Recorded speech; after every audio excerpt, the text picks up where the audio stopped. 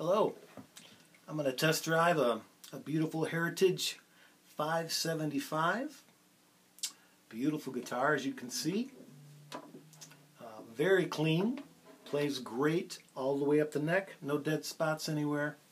Very easy to play. It's got a great tone. I'm going to be playing through a uh, TC Electronics chorus pedal.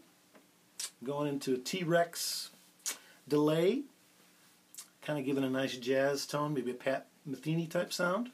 Uh, going into a Mesa Boogie triple rec, it's been modified uh, into a 212 Avatar bottom, so pretty cool jazz type sound going on there. Uh, what I like about this instrument is one thing, it's made in Kalamazoo, Michigan, which is my hometown where Heritage is, so I'm very familiar with the company.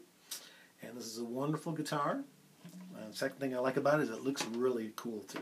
Great look to it, and it plays wonderful. So I'll just play a little bit of a a B minor romp around a little bit on a on a groove here. I'm not the greatest jazz player, but that's okay. We'll just uh, let it rip a little bit, and then I'll have another guitar after this. Maybe I'll do a little more pure jazz sound with. Okay, here we go.